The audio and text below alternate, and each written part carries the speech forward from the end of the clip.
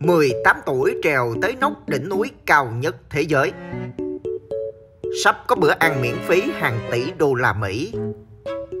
Dôi vượt lũ đi tiếp tế thức ăn. Hà Mã Lùng thành ngôi sao vườn thú. Bánh khổng lồ lập kỷ lục Guinness. TT Java bò lạc vào vườn nhà dân.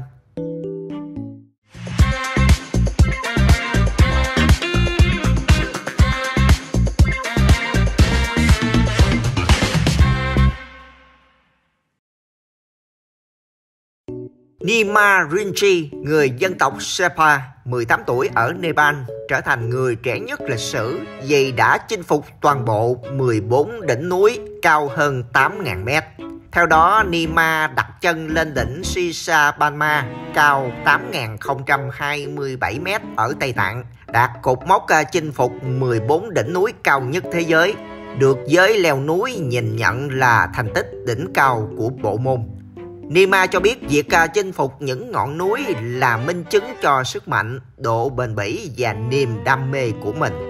Hiệp hội leo núi Nepal cho biết đây là khoảnh khắc đáng tự hào với quốc gia.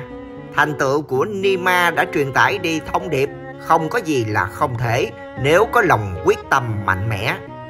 Nima Rinchi cho biết xuất thân từ gia đình khá giả, nhưng leo núi đã dạy cho bản thân biết thế nào là khó khăn và giá trị thực sự của cuộc sống khi học được nhiều điều về thiên nhiên, cơ thể, tâm lý con người từ những ngọn núi.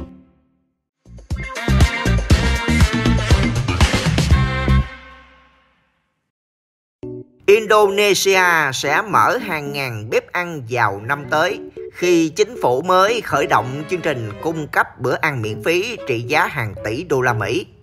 Dadan Hindayana, người đứng đầu cơ quan dinh dưỡng quốc gia Indonesia cho biết ít nhất 5.000 bếp ăn sẽ được mở vào năm tới trước khi tăng lên 30.000 vào năm 2027. Chương trình à, nhằm chấm dứt tình trạng suy dinh dưỡng, dự kiến à, tiếp cận 83 triệu người, trong đó có các thai phụ, với chi phí khoảng 28 tỷ đô la Mỹ mỗi năm. Các bếp ăn này còn đóng vai trò tiêu thụ sản phẩm nông nghiệp địa phương và tạo ra hơn 1 triệu việc làm mới. Chương trình à, bữa ăn miễn phí là sáng kiến của chính quyền mới do Tổng thống đắc cử Prabowo Subianto đứng đầu sẽ tuyên thệ nhậm chức vào ngày 20 tháng 10 tới đây. Trong giai đoạn đầu của kế hoạch, khoảng 20 triệu học sinh à, sẽ được cung cấp bữa ăn từ tháng 1 năm 2025 với chi phí 71.000 tỷ rupia, tương đương 4,54 tỷ đô la Mỹ. Nhu cầu lương thực ước tính cho chương trình này vào năm tới là 312.000 tấn gạo, 546.000 tấn thịt gà, hoặc à, 4,68 tỷ quả trứng, 936 triệu lít sữa và 546.000 tấn rau. Dadan cho biết một bếp ăn có thể à, phục vụ 3.000 trẻ em sẽ tiêu thụ 200 kg gạo, 350 kg thịt gà hoặc là 3.000 quả trứng, 600 lít sữa và 350 kg rau mỗi ngày. Cơ quan dinh dưỡng sẽ ưu tiên lấy nguồn thực phẩm từ nông dân địa phương và cũng sẽ điều chỉnh thực đơn dựa trên thực phẩm sẵn có.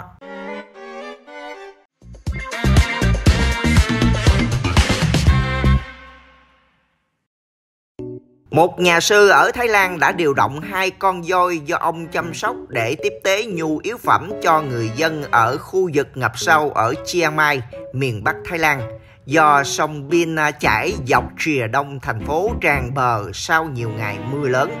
Khi trời đã ngừng mưa, nhiều người, đặc biệt là người cao tuổi vẫn bị cô lập ở một số khu vực nước ngập ngang thắt lưng hoặc cao hơn. Thế là nhà sư tại chùa Chedi Luang ở Chiang Mai đã điều hai con voi từ công viên Rakun Sang đi tiếp tế nhu yếu phẩm cho người dân.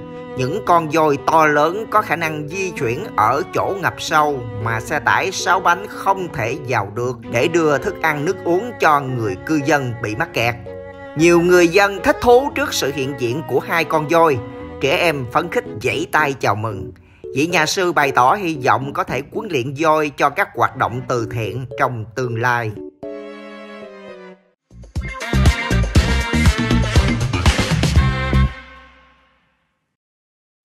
Munden, con hà mã lùn hơn 2 tháng tuổi trở thành ngôi sao trong vườn thú ở Chonburi, Thái Lan khi thu hút hàng ngàn người tới ngắm nhìn mỗi ngày.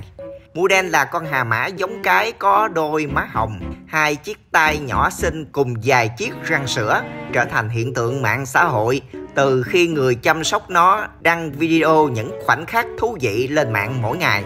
Các video mà mua đen lăn lộn trên sàn hoặc là nằm im tắm nắng trong vườn thú ở Thornbury thu hút cả hàng triệu lượt xem. Số người đến vườn thú để tận mắt ngắm mua đen cũng vì thế mà tăng giọt. Bình thường vào các ngày trong tuần và mùa mưa, mùa thấp điểm, vườn thú à đón khoảng 400 du khách mỗi ngày. Thế nhưng bây giờ vườn thú đón 3.000 tới 4.000 khách vào các ngày trong tuần. Đến cuối tuần à, lượng khách tăng lên tới 20.000 người, đa số là người xếp hàng để chờ gặp mua đen. Thậm chí có người đã 45 tuổi lái xe hơn 2 tiếng từ Bangkok lúc 6 giờ 30 để tới vườn thú chỉ để được ngắm mua đen. Hà mã lùn có nguồn gốc từ những khu rừng và đầm lầy Tây Phi. Dốc dáng à, của chúng nhỏ khoảng 2 tới 3 lần so với hà mã lớn. Hiện có khoảng 2.000 cá thể hà mã lùn trong tự nhiên, chủ yếu ở Liberia, Sierra Leone, Guinea và bờ biển Nga.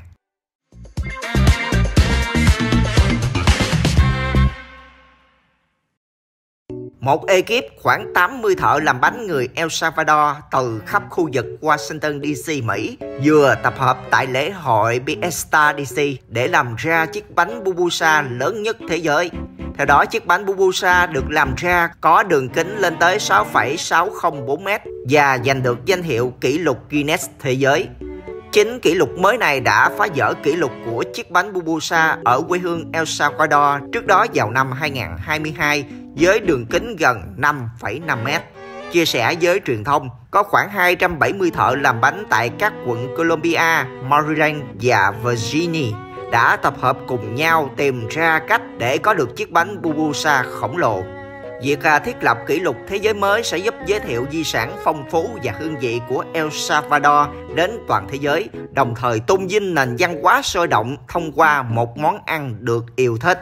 Sau khi được công nhận kỷ lục, chiếc bánh Bubusa khổng lồ đã được cắt thành nhiều phần và phục vụ cho những người tham dự lễ hội Fiesta DC thưởng thức. Bubusa là món ăn truyền thống và cũng là món ăn đường phố nổi tiếng của El Salvador. Đây là một loại bánh tròn và dẹt, được làm từ bột bắp, bột gạo với nhân đậu, phô mai và thịt.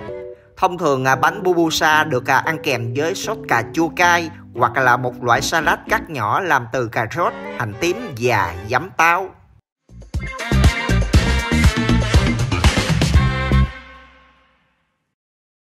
Một con TT Java nặng 1,2 kg bất ngờ bò vào giường nhà dân ở Đà Nẵng. Ngay sau đó người dân đã liên hệ cơ quan chức năng để bàn giao con vật.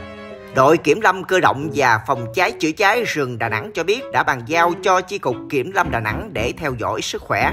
Theo đó, con TT quan giả được ông Ngô Văn Lựu, trú ở xã Hòa Khương, huyện Hòa Vang phát hiện khi à, nó đi lạc vào trong vườn nhà.